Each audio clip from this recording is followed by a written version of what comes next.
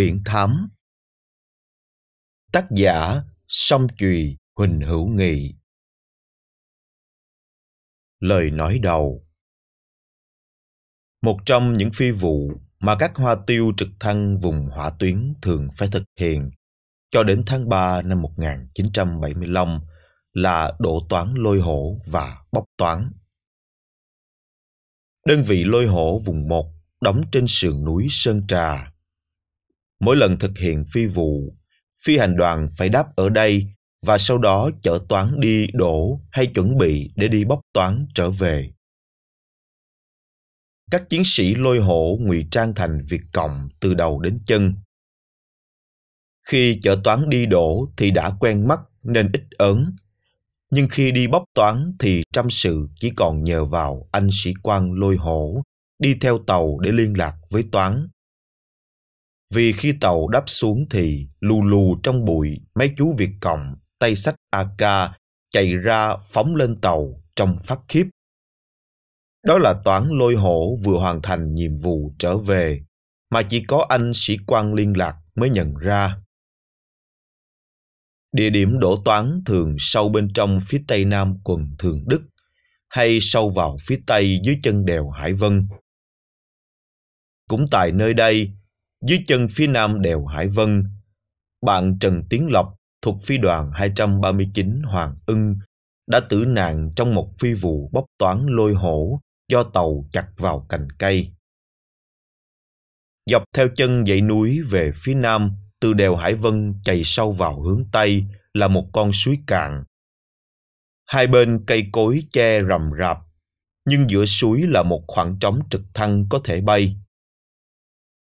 Đường bay nguy hiểm vì chật chội, nhưng các phi vụ đổ và bóc toán thường xảy ra ở đây vì mục tiêu kín đáo an toàn.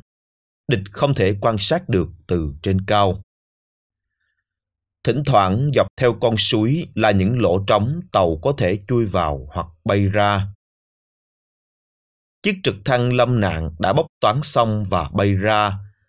Có lẽ chở nặng, tàu hơi vướng vấp khi lấy cao độ bay ra nên bị vướng vào cây. Tàu bị lật ngược và treo trên ngọn cây. Khi toán cấp cứu đến nơi và đem được hai pilot xuống thì đã mất hàng giờ. Hai anh đã tắt thở từ lâu. Các thành viên khác trên tàu bị văng ra ngoài, không rõ tình trạng. Thả viễn thám là một trong những phi vụ khó khăn và nguy hiểm nhất của những phi đoàn trực thăng vùng hỏa tuyến. Vì nơi hiểm địa, chúng tôi phải xâm nhập vào nơi không có bạn mà chỉ có thù và cũng không có tin tức tình báo gì xác thực. Chẳng khác nào người đi thầm lặng trong đêm tối, phập phòng lo sờ bóng ma. Những phi vụ ấy, chúng tôi chỉ còn mỗi cách duy nhất là thần trọng chọn lựa bãi đáp như thế nào để sau khi thả toán xuống chúng tôi còn có thể quay lại bảo vệ hay tiếp cứu bốc trở lên lại nếu toán nhảy vào ổ kiến lửa và chạm địch ngay khi vừa xuống đất.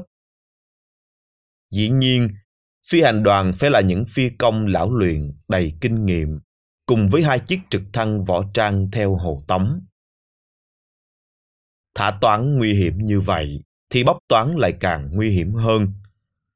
Vì toán viện thám nhảy xuống lần mò theo dấu địch để kiểm chứng tình báo lường giá khả năng đơn vị địch trong vùng thì ngược lại. Họ cũng có thể bị địch phát giác, thay vì là thờ săn, họ trở thành con mồi bị săn đuổi. Nếu họ bị làm thịt hết thì không có gì để nói, mà điều đáng sợ là họ bị bắt làm con tin, khai thác tình báo. Nhất là bị khống chế bắt buộc toán phải khai ra mật mã và đánh tín hiệu truyền tin yêu cầu chúng tôi bóc để hốt trọn ổ hoặc đối phương âm thầm theo dõi để khi chúng tôi đáp xuống, họ mới ra tay nhất tiễn xà sông điêu cho gọn gàng. Nếu may mắn toán biết bị đối phương theo dõi, săn đuổi, thì chúng tôi có thể tìm cách đánh giải vây đuổi hổ về rừng và hướng dẫn toán đến nơi an toàn. Hoặc toán tự tìm cách trở về đầu thú với quân bạn bởi vì họ trang bị toàn AK và y phục ngụy trang như Việt Cộng. Bỏ rơi họ không có nghĩa là chúng tôi thiếu trách nhiệm, vì nhiều trường hợp thường cấp che giấu tất cả mọi sự thật trước khi xuất phát, để rồi khi lâm trận chúng tôi bị hy sinh vô lý một cách đau thương đầy cay đắng mà danh từ thông dụng là nướng quân. Toán viện thám cũng vì muốn được cứu, cũng không nói thật tình trạng của họ và không thể trách vì ai cũng muốn sống. Có khi trên chiến trường, người chiến sĩ tự giải quyết lấy bằng tình cảm, danh dự và trách nhiệm chính con người họ. Nên có những lúc lệnh triệt thoái ban ra họ vẫn cứ tiến. Hoặc đồng đội gục ngã trước hỏa lực địch, họ vẫn tiến hoặc bò lên lấy thay bạn, bất chấp mọi hiểm nguy trước làng đạn đối phương, mặc dù vì chỉ huy ngăn cản. Có khi đơn vị bị tràn ngập biển người, họ chấp nhận hy sinh, gọi pháo binh hay không quân dập lên đầu để tính lời lỗ trên xác quân thù. Tất cả những sự hy sinh cao cả ấy vượt ra ngoài các bài học nơi quân trường, lời ca ngợi, điếu văn hay những bản hùng ca, vì không có lời nào đủ nghĩa nói lên được cái chất, cái hồn, cái tình lính của người chiến sĩ miền Nam thành văn bản được trong những trường hợp đó. Vào lúc 2 giờ trưa, Trung úy Sơn làm trưởng đoàn trực thăng đi bóc toán, gồm có một chiếc slit và hai chiếc gunship do Trung úy Lập và Thiếu úy Hào yểm trợ. Là sĩ quan phi đội trưởng tuần trực của phi đoàn, chịu trách nhiệm theo dõi các cuộc hành quân của đơn vị trong tuần lễ nhiệm chức, giải quyết những khó khăn cũng như tổ chức cấp cứu kịp thời khi nguy biến. Tôi đặc biệt theo dõi cuộc hành quân này qua làn sóng vô tuyến và được biết có vấn đề khó khăn xảy ra. Có thể toán bị kềm chế hoặc bị săn đuổi như những trường hợp kể trên và như vậy phi vụ có thể bị hủy bỏ. Tôi chợt nhớ trong toán viện thám này có người em họ, con của cô ruột tham dự, nên lại càng lo âu nếu toán bị bỏ rơi trên chiến trường. Tôi yêu cầu anh Sơn ở lại trên vùng chờ đợi và vội vã lấy phi hành đoàn chiếc gunship trực của phi đoàn thường dùng để tăng cường thêm cho những phi vụ hành quân hoặc cấp cứu. Bay thẳng vô quận Thường Đức là trấn biên thùy cuối cùng phía tây tỉnh Quảng Nam giáp với biên giới Lào. Khi đến nơi, chúng tôi gặp nhau trên vòm trời quần lì và hội ý với nhau tìm giải pháp khả dĩ làm thế nào có thể giải cứu toán. Tôi bắt đầu liên lạc với toán và nhận ra chính đứa em tôi trả lời trên làn sóng truyền tin trong tình trạng bấn loạn, càng khiến tôi bối rối vô cùng.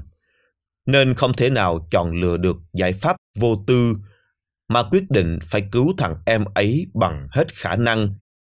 Nếu không làm sao tôi có thể tránh né được lương tri mình suốt đời rây rứt nếu nó có mệnh hệ nào. Tự nhiên tôi có ý nghĩ sử dụng lối xưng hô trong gia đình người Nam trong trường hợp này, xem như là một thứ mật mã để đo lường phản ứng sự đối đáp với nhau. Nhờ đó cho phép chúng tôi xác định một cách tương đối tình trạng bên dưới. Tôi hỏi, Hiển biết ai đây không? Và nhận được trả lời ngay lập tức.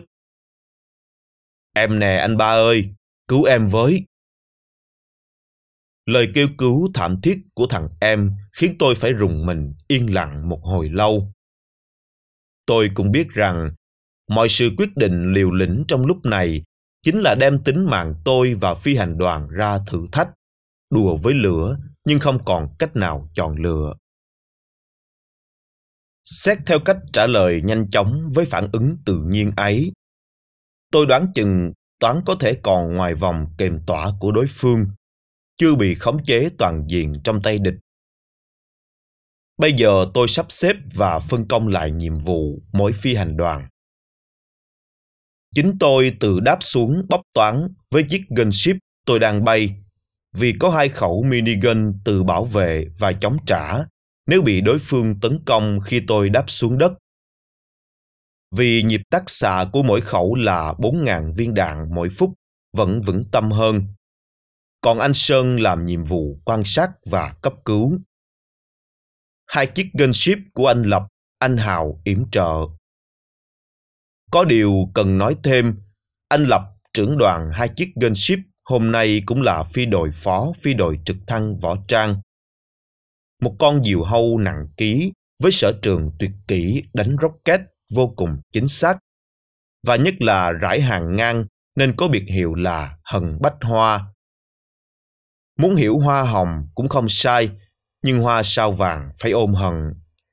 Cho tôi một sự tin tưởng và yên tâm hơn khi lấy quyết định.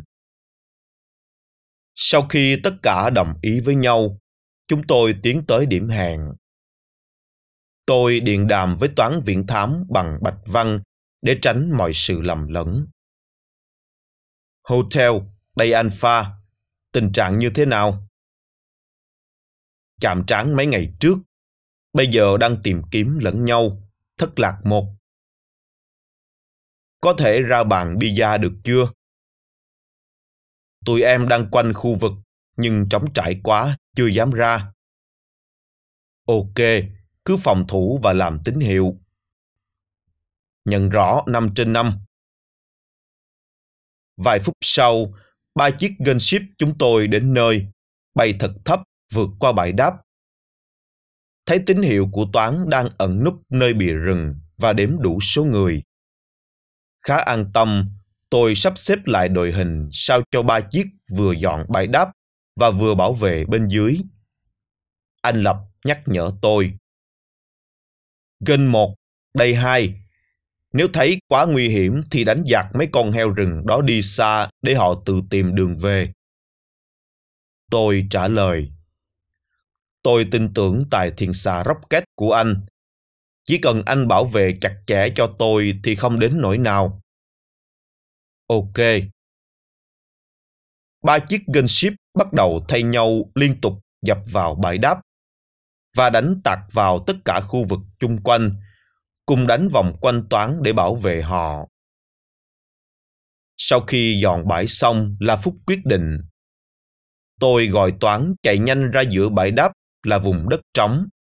Cỏ tranh cao khuất đầu che giấu họ cũng bớt đi phần nào sự lộ thiên vô cùng nguy hiểm trong lúc này.